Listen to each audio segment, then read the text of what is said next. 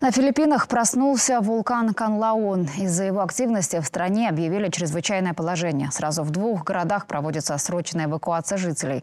Вулкан расположен на острове Негрос и считается одним из самых высоких на Филиппинах. Накануне Канлаон выбросил вверх столб пепла и дыма высотой до 5 километров. Шестиминутное пробуждение вызвало 43 землетрясения. Пока свои дома покинуло около 800 человек.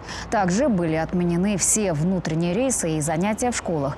Местные власти предупреждают о риске извержения, а также опасности вулканического пепла и сернистого газа. Поэтому призывают носить маски. Последний раз Канлаон извергался в декабре 2017 -го.